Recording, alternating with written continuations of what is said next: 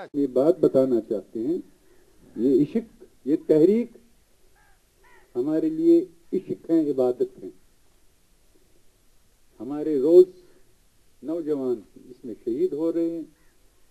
अब क्या फ़र्क है? यासीन मलिक, मीरवाइज साहब और गिलानी साहब भी इसमें शहीद हो जाए, हमें फख्र होगा। लेकिन ये जो आपकी धमकी है, क्या आप कहते हैं कि हमें इनको एक ही तो आप सीधे चाहते हैं कि हमें इनको कत्ल करने की इजाज़त दे दो।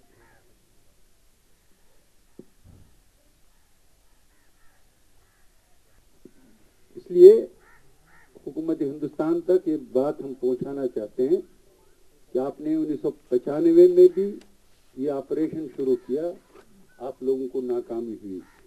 हो गई। और इंशाल्लाह इंशाल्लाह इस बार भी नाकामी होगी, क्योंकि हम प्रेशर के तहत कोई काम नहीं करेंगे, ये हमारा अटल फैसला कभी क्या यही है हिंदुस्तान की जमहूरियत? हम हिंदुस्तान की मुल्क को जमहूरियत उस दिन मान लेंगे जिस दिन वो यहाँ के लोगों को ये फैसला करने का जमहूरी हक देंगे रायशुमारी के ज़रिए, कि वो अपने मुस्तकबिल का फैसला करे कि वो क्या चाहते इसलिए ये जो फौजी ताकत, ये जो यहाँ पर हो रही है कत्लेआम लोगों पे जुल्म। माइनस टेम्परेचर में लोगों को निकालना। एनआईए को इस्तेमाल करना किडनैपिंग केसेस तो 26 जनवरी, इस तरह गिलानी साहब ने बात की, ये योम सियाह के तौर पर मनाने का हम लोगों को हक है, क्योंकि हिंदुस्तान जिस जमहूरी मुल्क होने का दावा कर दिया है, आज तक उसने कश्मीरी के जमहूरी हक को पामाल किया। क्योंकि ये हक खुद पहले हमें हिंदुस्तान ने दिया था कि हम आपको मुस्तकबिल का फैसला करने का हक देंगे। इसलिए छब्बीस जनवरी को मुकम्मल योमिया होगा। We urge the international community as well to understand the dynamics of the problem as you are your aware that while we are talking every other day this also casualty on the on the on the borders people are getting killed Uh, you know, whether it's Indian soldiers, Pakistani soldiers, you know, local people, schools are targeted on both sides. So this problem demands a solution.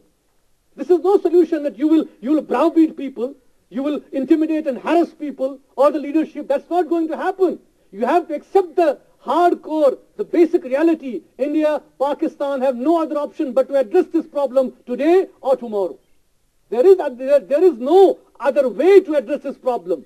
India cannot, you know, through military might, scuttle the voice of the people.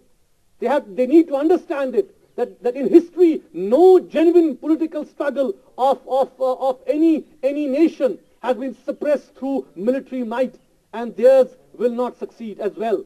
Let this be known to them. Let, the, let, let, let, let them understand it very well. And their, their policies, their you know, uh, intimidation tactics are forcing the young generation, the youth who are being pushed to the wall, the, the educated youth who are being pushed to the wall. They are, they are the ones now who are again, you know, picking up the gun.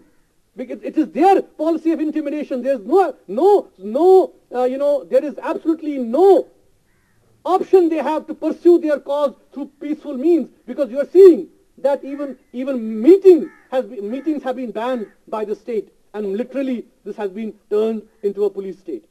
So I think through this press conference, we, we want to make it absolutely clear that as far as the NIA thing is concerned, we reject this allegation completely. We demand unconditional release of all these political prisoners who have been who have been arrested and who have been falsely, uh, you know, uh, charge sheeted as far as the whole thing is concerned. And secondly, as far as the statement of the Indian uh, Army chief is concerned, that is a very clear indication uh, that how uh, they want to pursue a, a, a policy of military intervention using military.